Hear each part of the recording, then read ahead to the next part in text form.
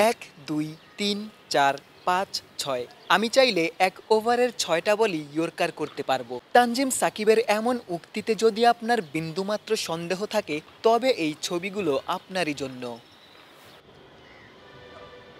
Yorker অনুশীলনে সাকিব একের পর এক ইয়র্কার ছুড়েছেন। স্টাম্প কিংবা ওয়াইড লাইন। টায়ারে ইয়র্কার এক্সিকিউশনে সাকিব মোস্তাফিজ শরীফুলদেরও পেছনে ফেলেছেন। সাকিবের ইয়র্কারে তারেক আজিজ তো বটেই, শরীফুলরাও মুগ্ধ ছিলেন। অবাক বিস্ময়ে প্রশ্নও ছুড়ে দিতে পারেন। সাকিব কি করে প্রত্যেক বলেই এমন পিকচার পারফেক্ট ইয়র্কার ছুড়েন? এই দক্ষতা কি সাকিবের সহজাত, নাকি পুরোটাই অনুশীলন?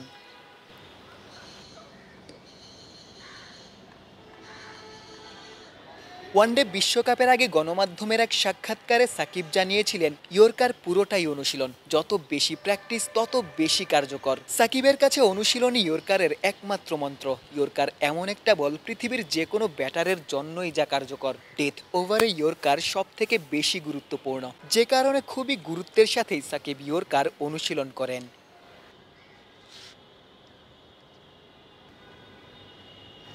ভারতের বিপক্ষে টি টোয়েন্টি সিরিজের আগে বোলারদের বিশেষ ইয়র্কার ক্লাস সাকিবের জন্য যে অনুশীলন আকাঙ্ক্ষিত বিষয়। উইকেটের সামনে টায়ার রেখে বোলাররা বোলিং করছেন। সাকিবরা সেটিতেই হিট করার চেষ্টা করছেন। টায়ার লক্ষ্য করে ছোড়া বলে আলটিমেট গোল উইকেটেও হিট করছেন। একবার, দুবার নয়। যতবার বোলিং করেছেন, ততবারই ইয়র্কার এক্সিকিউট করতে সফল হয়েছেন।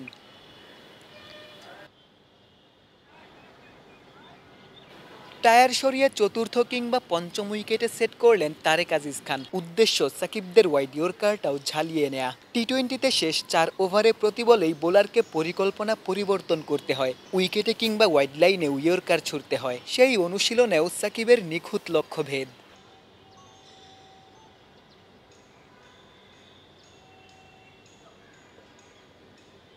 তানজিম সাকিবের প্রথম আন্তর্জাতিক উইকেট রোহিত শর্মার। ভারতের বিপক্ষে তিন ম্যাচের টি টোয়েন্টি সিরিজ। নিশ্চিতভাবেই সাকিব রোহিত ভিরাটদের উইকেট তুলতে চাইবেন। সেখানে ইয়র্কারি হতে পারে সাকিবের সব থেকে বড় অস্ত্র।